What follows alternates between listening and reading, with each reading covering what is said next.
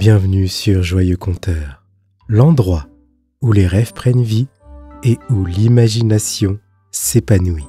Ferme les yeux et laisse-toi transporter par cette histoire s'intitulant Igor, le loup qui mangeait des carottes. Il était une fois, dans la forêt de bois velours, un jeune loup nommé Igor qui, par une belle journée printanière, s'apprêtait à quitter sa famille pour partir pour la toute première fois de sa vie à la chasse. Sa mère louve et son père loup lui firent une léchouille affectueuse avant de lui dire ⁇ Va fils, tu es désormais adulte, nous sommes fiers de toi et savons que tu sauras chasser le gibier pour te nourrir. Au revoir, papa loup. Au revoir, maman louve. Sur ces paroles, remplies de fierté, d'amour et d'un peu d'appréhension, Igor quitta la tanière de la meute pour partir à la chasse. Après des jours de recherche, Igor repéra enfin sa toute première proie, un lapin roux nommé Malice. Igor avait très faim et voulut l'attraper. Les carottes sont cuites pour toi, mon petit. Mais Malice, malin comme un renard, leva une patte en signe de trêve. Arrête, arrête s'exclama-t-il d'une voix feinte de terreur. Ne me mange pas, s'il te plaît, monsieur loup. J'ai une proposition à te faire qui remplira ton ventre vide. Crois-moi. Intrigué par cette soudaine suggestion, Igor s'arrêta, les yeux brillants d'intérêt. Que veux-tu dire? demanda-t-il, prêt à entendre ce que Malice avait à lui dire. Malice prit une grande inspiration avant de répondre d'une voix maîtrisée. Visiblement, tu as très faim. Mais laisse-moi juste une minute. J'ai entendu parler d'une proie bien plus appétissante que moi. Un cerf majestueux qui se trouve non loin d'ici. Je vais vite te le chercher et tu pourras te régaler comme jamais auparavant.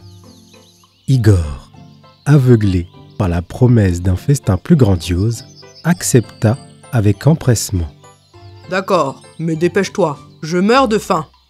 Malice hocha la tête avec un sourire sournois et dit Attends-moi ici, je reviens rapidement.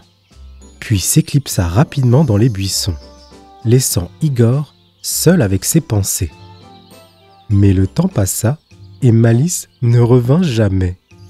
Déçu et un peu honteux d'être tombé dans le piège de Malice, le loup secoua la tête, se promettant de ne plus être aussi crédule à l'avenir. Déçu par la tromperie de Malice, Igor errait dans la forêt, son ventre criant famine. C'est alors qu'il découvrit une petite lapine nommée Grippeuse. Elle semblait faible et mal en point, éternuant et toussant à chaque instant. Affamé et voyant en elle une proie facile, Igor s'approcha d'elle, prêt à lui sauter dessus. Bonjour Lapine, tu as l'air bien malade? Grogna-t-il d'une voix rauque. Grippeuse, feignant une faiblesse accrue, leva péniblement la tête pour le regarder. Sa voix était tremblante, mais pleine d'avertissement.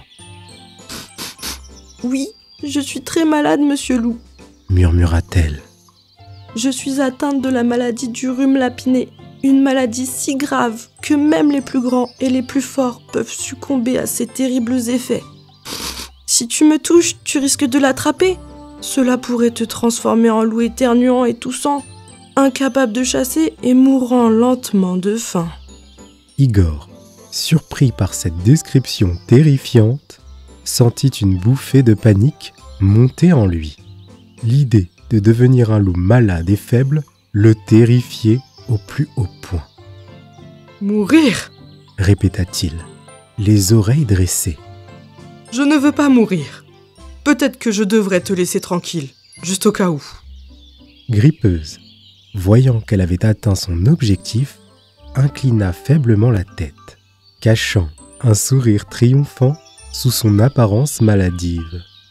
Elle laissa Igor s'éloigner et s'enfuit rapidement. Igor erra dans la forêt pendant des jours, à la recherche d'un animal à se mettre sous la dent, mais rien.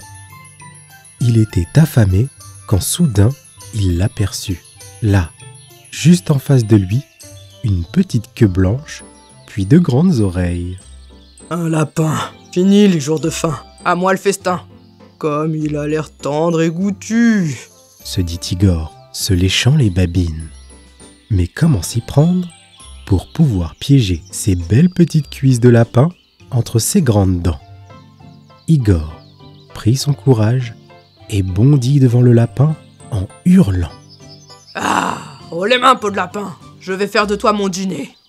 Igor ouvrit grand sa bouche et s'apprêtait à croquer le petit lapin blanc, lorsque celui-ci le regarda droit dans les yeux et lui dit avec aplomb, d'un air impassible Stop Oh là là, monsieur loup, on ne t'a pas dit Pas dit quoi répondit Igor bêtement, tout à coup stoppé dans son action. Il en oublia de croquer le lapin. Eh bien, manger du lapin ou d'autres animaux, cela ne se fait plus. Ah bon?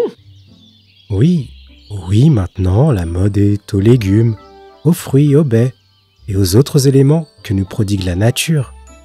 Des légumes Burk, mais quelle idée Laisse-moi plutôt croquer une de tes belles petites cuisses. Je meurs de faim Non, parole de lapin, tu ne le regretteras pas. Profitant d'un moment de déconcentration du loup, le lapin, tac au tac, de son petit nom, en profita pour lui enfourner une belle carotte dans la bouche. Igor, surpris, faillit s'étouffer avec, puis finit par la mâcher. C'est vrai, il avait tellement faim, ça ne pouvait pas faire de mal après tout de goûter. Quand soudain, ses yeux s'illuminèrent. Hum, cette saveur sucrée et croquante sous la dent. C'est délicieux Hum Le visage d'Igor, qui jusque-là semblait féroce et crispé, se détendit petit à petit et laissa place à un grand sourire béat. Que m'as-tu donné C'est exquis? Où puis-je en trouver? Tu vois mon ami, ceci est une carotte. Une carotte? Oui, allez suis-moi, je vais te montrer où en ramasser, mais seulement si tu me promets de ne plus jamais chasser le lapin. Promis, juré, craché. Sur ces paroles, Tac au Tac fit découvrir à Igor les potagers où il pourrait désormais chasser la carotte. Igor, le loup qui aimait manger des carottes, devint ami avec d'autres lapins et se dit qu'au final, ce n'est pas si mal de ne pas les manger. Au fil des jours, à force de manger des carottes, il devint de plus en plus doux et aimable.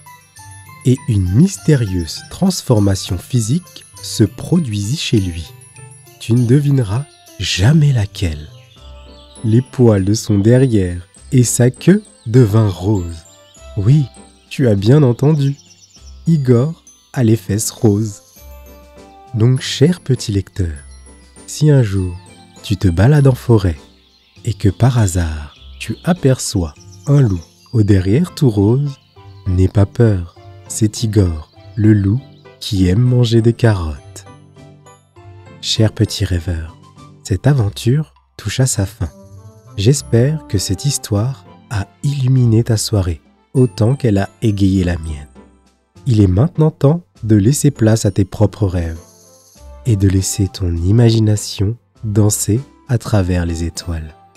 Ferme doucement les yeux, emporte avec toi les merveilleux souvenirs de cette histoire et plonge dans un sommeil enchanté.